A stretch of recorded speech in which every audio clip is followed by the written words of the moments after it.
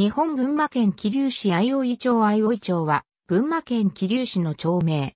現行行政地名は、相生町1丁目から5丁目。郵便番号は376-0011。桐生市の中西部に位置する。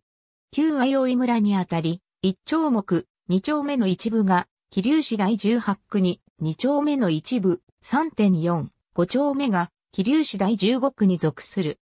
東北部は、堤町に、東部は、元宿町、清瀬町、織姫町、桜木町に、南部は、広沢町、緑市笠掛町浅見に、西部は、緑市大間町大間大間町高津戸に、北部は、川内町にそれぞれ接する。二丁目に、標高約160メートルの富士山がある。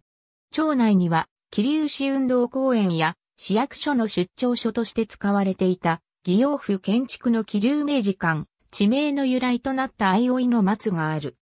相生町の大部分は、桐生市第15区に属し、桐生市立相生中学校の学校区であるが、桐生市第18区に属する相生町の東部は、桜木町、広沢町の西部とともに、桐生市立桜木中学校の学校区となっている。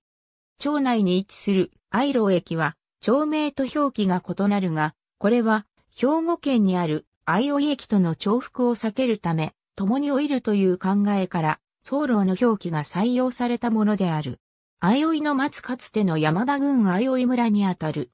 1954年10月1日に相生村が桐生市に編入したことで、新たに相生町となった。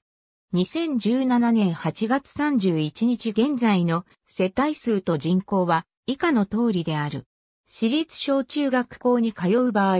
学区は以下の通りとなる。愛、老駅気流大橋、JR 両毛線、渡良瀬渓谷線、高下線、東部気流線が通じ、町内に6つの鉄道駅が設置されている。両毛線は町内を通過するのみで、駅は設置されていない。また、国道122号や群馬県道3号前橋、大間気流線など、複数の県道が通じており、渡良瀬川に架かる相川橋、赤岩橋、桐生大橋によって、川内町や桐生市中心部と結ばれている。ありがとうございます。